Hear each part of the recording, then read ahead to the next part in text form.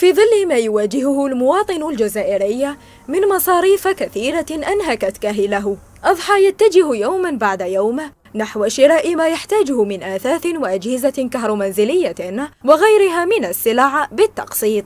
وما زاد رواجا لهذه الثقافة الاستهلاكية هو اتباع العديد من المحلات التجارية نهج الصيرفة الإسلامية في تعاملاتها. الكاش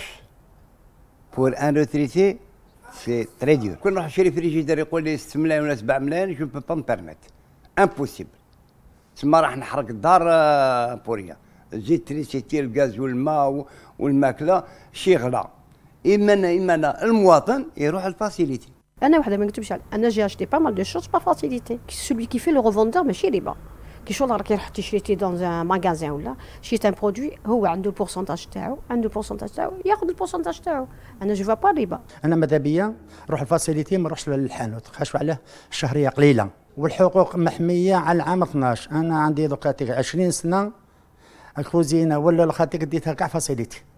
إلا أن تجارة البيع بنظام التقسيط عبر المرابحة لها شروط معينة. وغالبا ما توفر حقوق الضمان على السلع وخدمات ما بعد البيع.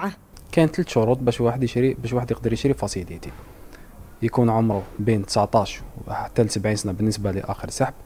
يكون الراتب تاعو يساوي أو يفوق زوج ملايين ونص سنتيم. ويكون مرسم في العمل ديالو أو يكون عنده عقد عمل غير محدد المده حنا هنايا ال client كي يدي زعما نقولوا كاش produit ما عندوش l'apport initial ولا دفع مسبق يدفعو. تما يدي ال produit تاعو ومن بعد après mois باش يبداو ينحوا له هو ديالات من ال salaire تاعو. كل هذا عن طريق الشراكة مع عدة بنوك تعتمد الصيرفة الإسلامية كمصرف السلام الإسلامي. أضحت الصيرفة الإسلامية تواكب الاستثمار في مجال البيع بالتقسيط من خلال بروز فعاليتها في ترقية التنمية الاقتصادية والاجتماعية. وكذا المساهمة في رفع المستوى المعيشي للفرد الجزائري.